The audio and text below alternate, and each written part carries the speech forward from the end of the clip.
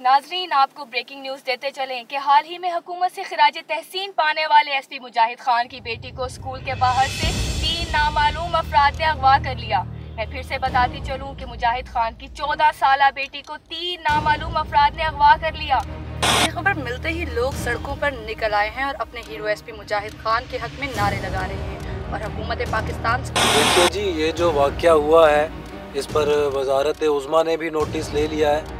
और इस पर हमने एक कमेटी भी यानी शाहिदीन का कहना था कि नामालूम अफराद मुसल्ला थे और एक सफ़ेद रंग की गाड़ी में फ़रार हो गए।